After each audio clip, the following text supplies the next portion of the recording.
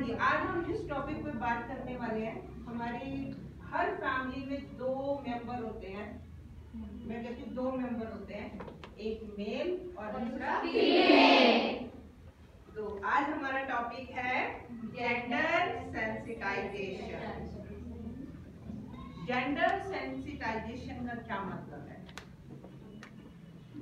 घर में फ़र्क होता है लड़का और लड़की में? Yes, होता है? Yes, क्या क्या फ़र्क होता है?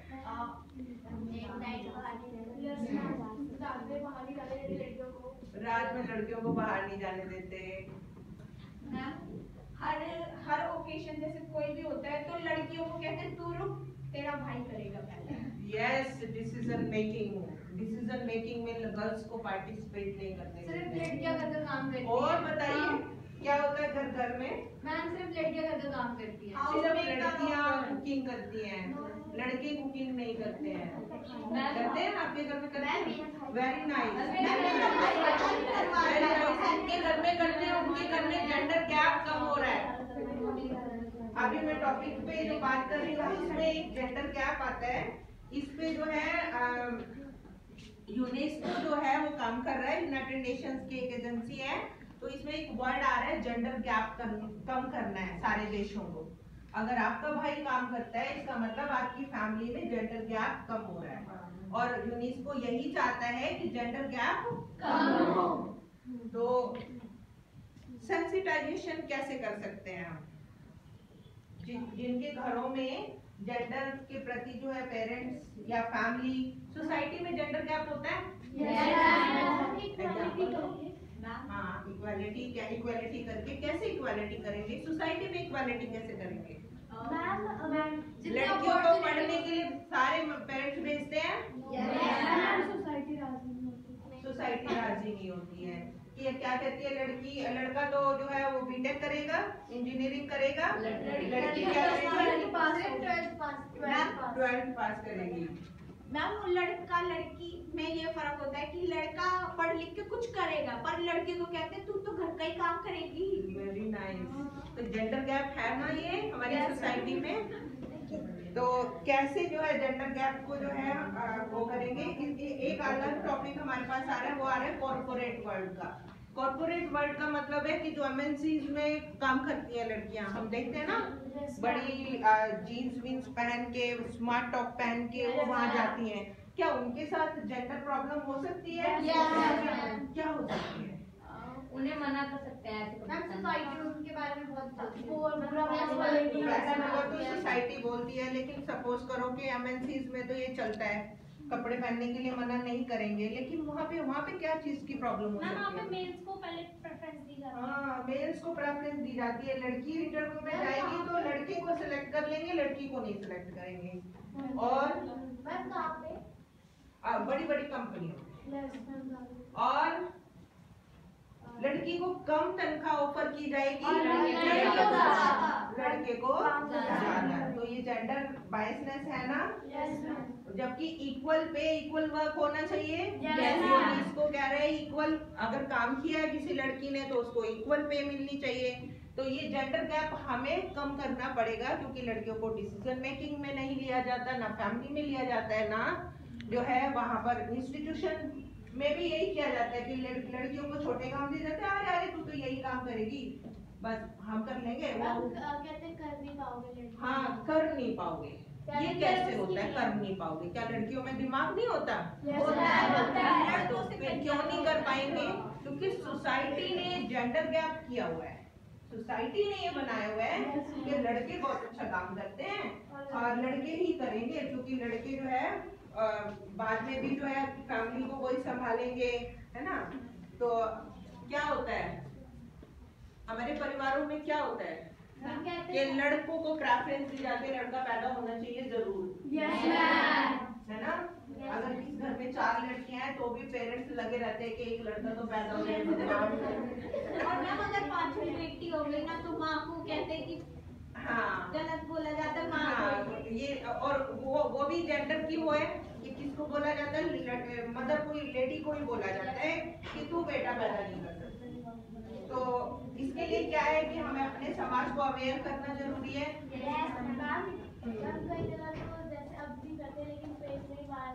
हाँ मैं वही इशू दवाई दवाई। खिलाते हैं। बिल्कुल मैं भ्रूण हत्या को ही लेना चाह रही थी। कि पहले से ही जो है सेक्स को जो है वो देख प्री नेटल डायग्नोसिस बोलते हैं उसे कि प्री नेटल डायग्नोसिस करके पहले ही देख लिया जाता है कि अगर लड़की है तो जो है उसको अबॉर्ट करा दो। या कई कई जगह ऐसा भी होता है कि लड़की पैदा होती है पैदा होते ही मार दिया जाता है। हाँ, तो इसकी वजह से क्या है कि जेंडर गैप मतलब अगर लड़कियाँ सारी मार दी जाएँगी क्या होगा? लोग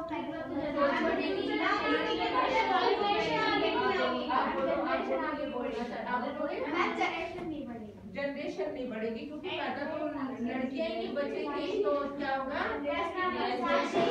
इसको बोलते हैं sex ratio sex ratio sex ratio जो है वो एक हज़ार के ऊपर जो है 939 के आसपास लड़कियाँ पैदा होती है बाकी लड़कियाँ होती नहीं है। तो इसका मतलब क्या है? एक हज़ार में साठ सत्तर लड़कियाँ कम पैदा हुई ना? तो साठ सत्तर लड़के कमारे रह गए ना? तो उनकी जनरेशन कैसे बढ़ेगी? तो इस बात पे यूनेस्को जो है वो बहुत सोचता है और इसीलिए उसने इस टॉपिक को टच किया है। मैम यहाँ पे एक और हो सकता है। हाँ जी बोलो। मैम कि अगर लड़कियों को तुम मारते रहोगे तो कहाँ से लाओगे? बहू कहाँ से लाओगे? बेटी। वेरी नाइस वही बेटी बेटी कहाँ से आएगी? और वो क्योंकि वंश बढ़ाने की जैसे इसने कही है कि अगर लड़की को ही मार दोगे तो वंश कैसे बढ़ेगा? अब जेंडर इक्वालिटी करने के लिए हमें करना क्या क्या पड़ेगा हमें सबको अवेयर करना पड़ेगा। अवेयर करना पड़ेगा फैमिली में लड़का लड़की को बराबर सोचना पड़ेगा और अपॉर्चुनिटीज़ देनी अपॉर्चुनिटीज़ एजुकेशन की अपॉर्चुनिटी देनी पड़ेगी लड़कियों को। क्योंकि लड़की अगर पढ़ी लिखी होगी तो जो है वो इस बात को सोचेगी कि अभी मेरी लड़की हुई है तो कोई बात नहीं क्या दिक्कत है? मैं पढ़ी लिखी थी मेरी बेटी पैदा हुई तो मैंने तो नहीं कुछ कहा तो बहुत खुश हुई थी ठीक है हमारे घर में आ गया बच्चा। और जो है वो आज बैठी हुई है। लड़कियाँ नाम रोशन करती है। ना हाँ? तो लड़कियाँ कल्पना चावला इंदिरा गांधी सारे की लड़कियाँ क्या क्या नहीं कर सकती तो इसलिए सोसाइटी में इक्वालिटी देनी ज़रूरी है। जब मैं इंदिरा गांधी का नाम ले रही हूँ तो मेरे दिमाग में एक टॉपिक और आ रहा है कि लड़कियों को पार्लियामेंट लेडीज़ को पार्लियामेंट में भी तो राइट मिलना चाहिए।